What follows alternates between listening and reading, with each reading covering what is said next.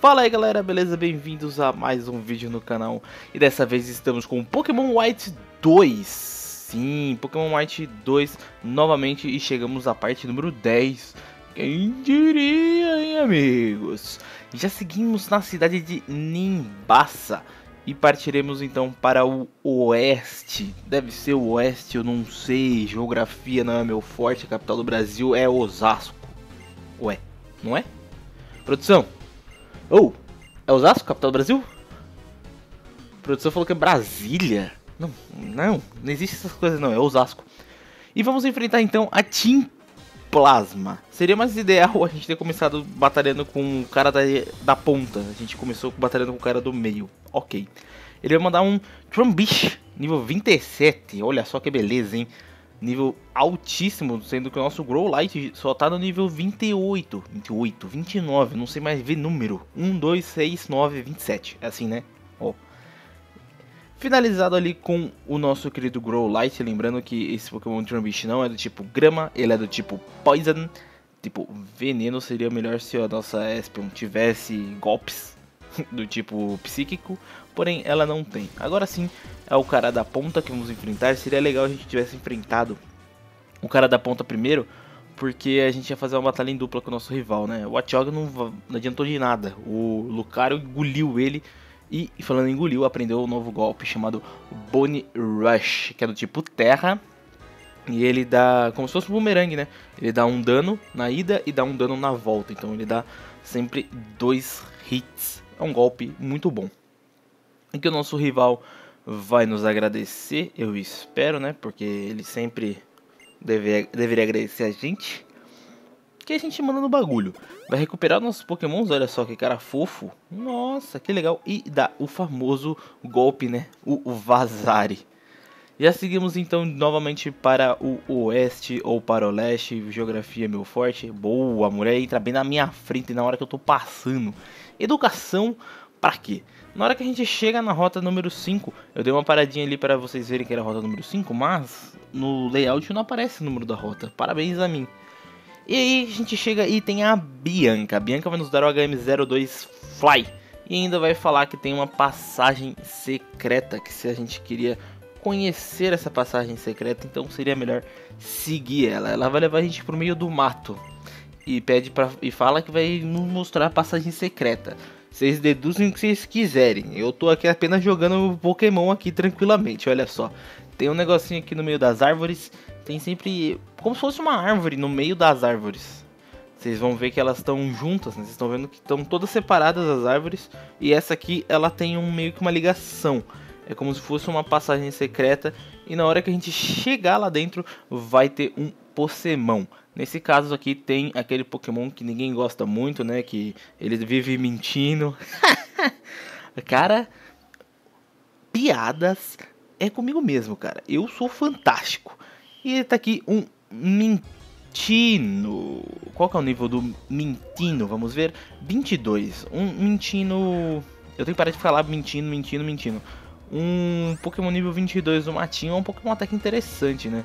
Ele sempre vai ficar escondido, tem, ele sempre vai ficar escondido. Tem vários pokémons aqui em, em várias partes do jogo que estão nessas passagens secretas, mas para ser bem sincero, eu não peguei nenhum. Esse vai ser o único que a gente vai ver nas passagens secretas. Mas, porém, entre tudo, com todavia, paçoca, a gente pode, mais pra frente, quem sabe, dar uma explorada bacana no mapa e achar mais desses lugares novos, assim, novas passagens. Bom, Indo para a esquerda, por baixo, a gente vai achar uma Pokébola que tem uma Hyper Potion. Hyper Potion, como eu falei pra vocês, recupera 200 do HP. Geralmente, assim, um Pokémon até no nível 60 ele não tem 200 de HP. E a gente pegou uma Hyper Potion que basicamente recupera a vida toda. Temos aqui um menino dançando Break, tem um Scrag número, número nível 25. E o Lucario, muito de boa, já que o Craig também é do tipo Dark, o Lucario dá só um hit. E vamos então para o a história desse capítulo, a história dessa parte. Esse aqui é o Charles.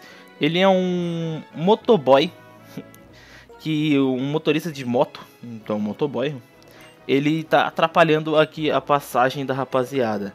E pra gente para liberar a passagem aqui, a gente tem que fazer uma batalha em trio, não é nem em dupla, é uma batalha tripla contra este cara, o motocicleta, não é o motoboy, é motocicleta.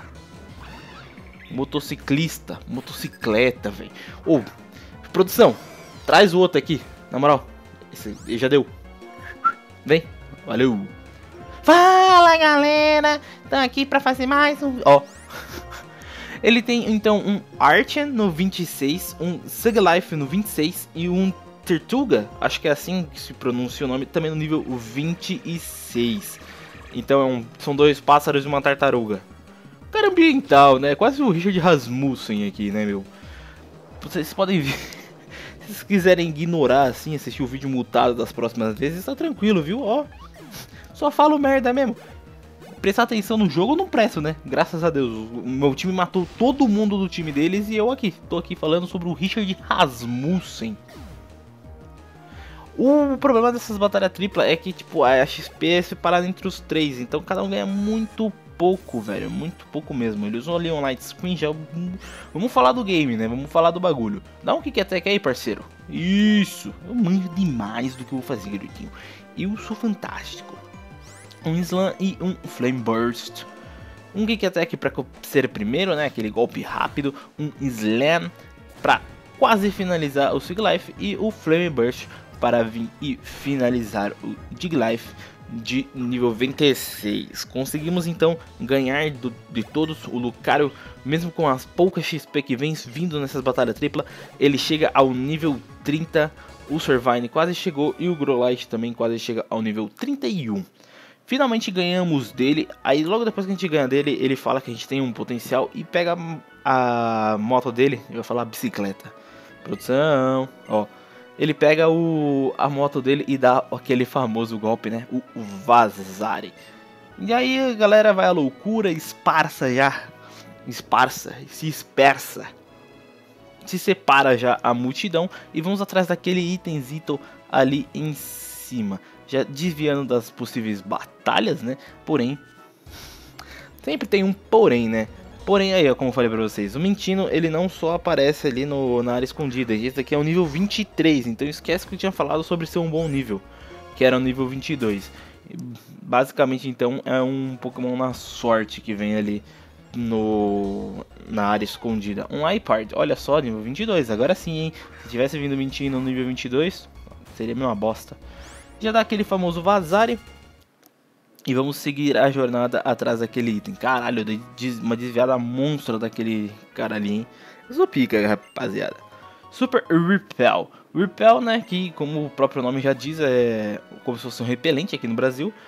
E ele evita que a gente enfrente batalhas. Chegamos então na ponte que liga a rota 5, eu acho, e a cidade de Driftil. Drift Vale, Drift Vale, Drift Nelson. E nessa ponte tem coisas que ficam mexendo aqui no, no, Tem umas sombras, né? Nessa ponte. Geralmente são wings, podem ser até mesmo pokémons e gems. Acho que eu pego uma gem aqui antes de... Até a próxima aqui. Na verdade não pego não, porque já deu vazar. E chegamos então em Drift Vale, Drift Vale, Drift Vale City. Vocês podem pronunciar o jeito que vocês quiserem. Eu como eu falei pra vocês, se eu quiser chamar de Kleber a cidade, vai ser Kleber. Mas eu acho que é Drift Veil. Chegamos aqui e tem dois membros da Team Plasma conversando. Se você jogou o primeiro jogo, você sabe que o cara que foi empurrado agora, ele era do dali do Gets, do N, e o de cima já é desse novo Team Plasma. Ele fala sobre ali o N, aí o, o, de cima fala que ele é um traidor. Tá tendo uma batalha aqui. Já chega o, o Rug, o abraço, não dá um abraço na gente, não dá um abraço em ninguém. Ele dá um baita empurrão no cara da Team Plasma e o cara da Team Plasma dá um vazão. É, se você não assistiu o primeiro. O, se você não sabe o que aconteceu no primeiro jogo, eu ah, não sei se eu conto aqui a história rapidamente, mas é que o N era o líder da Team Plasma, ele gostava muito de, dos pokémons, ele gostava que ele amava os pokémons e ele não queria deixar os pokémons presos. Eu vou fazer uma série futuramente, mas tem algumas séries no YouTube que você pode acompanhar e ver essa história lindíssima que é do Pokémon Black 1. Bom, eu vou ficando por aqui. Espero que vocês tenham gostado. Muito obrigado para você que assistiu até agora. Valeu, falou e fui. Esqueci de falar. Desculpa qualquer coisa também, né? Valeu, falou e fui.